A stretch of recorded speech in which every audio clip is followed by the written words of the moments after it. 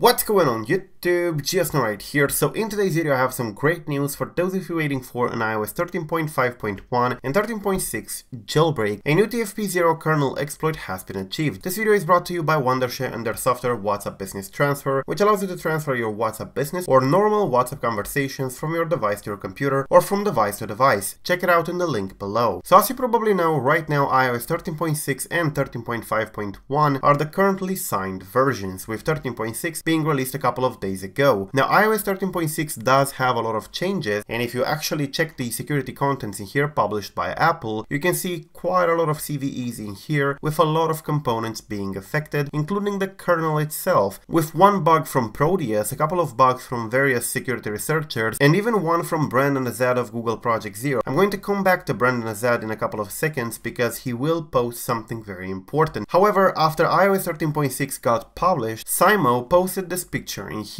which basically details a TFP0 kernel exploit, which basically was achieved on 13.6. So as you can see from the uh, picture, it does have the logging components and it gets the uh, task port, the kernel task port in there. And of course, there are multiple things, for example, the kernel slide, which was uh, actually calculated in there. And then the device runs the uname a similar command and it does bring you the uh, Darwin kernel version string in here, basically proving what version he is running. And then he posted this in here, quote, iOS 13.6 forced me to rewrite the exploit from scratch. So what Simo has in here is a TFP0 kernel exploit or a kernel task port exploit. So this one can actually be used to update the uncovered jailbreak if it gets released. We can update the Unc0ver, we can update many other jailbreaks, and of course this one would work on A12 devices as well. However, there is no word on any release for the moment and it's actually quite normal because iOS 13.6 is actually signed right now as we speak, and 13.5.1 as well. So releasing the exploit would basically mean releasing zero day, which Simo would probably not do. He would probably go with the responsible disclosure route, which basically means that he's going to submit it to Apple and they will of course release an update like this one here, credit him here on the page, and of course after the vulnerability is patched, we would be able to get it with no problem. However, by that time 13.6 would either be second to last signed or of course unsigned completely like 13.5 or 13.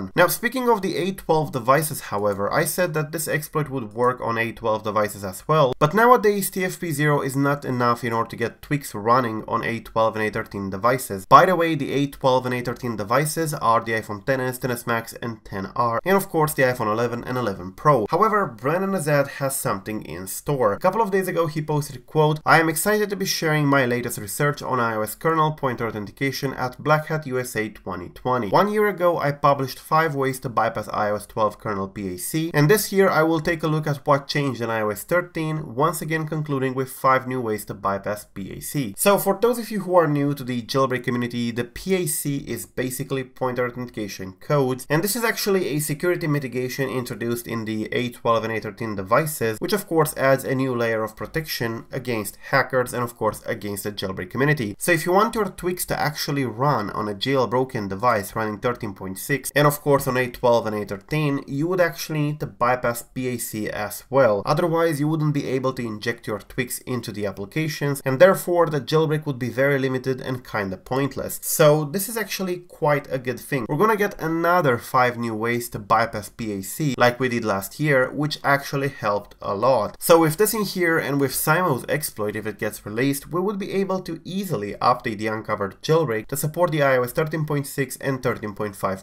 13.5.1, which of course will result in a jailbreak for a very new iOS version, but unfortunately it may not be signed at that point, so I definitely recommend it to stay on 13.5.1 for now, and if we get any confirmation that the exploit will be released for 13.6, at that point you would be able to update if it's still signed. However, to play it safe for now, I would definitely advise you to stay on 13.5.1, and of course if you are already jailbroken, do not update. So yeah, a new TFP0 kernel exploit, this is massive. This is the most important component of a jailbreak. You have this, you are definitely going to be able to jailbreak sooner or later. And with Brandon Azad's upcoming talk with the 5 new ways to bypass PAC in iOS 13, this is definitely going to be great. But yeah, that's pretty much it guys, thank you for watching, till the next time subscribe to stay updated, I will keep you updated with anything that's going on in the jailbreak community, I am GeoSn0w, and till the next time, peace out.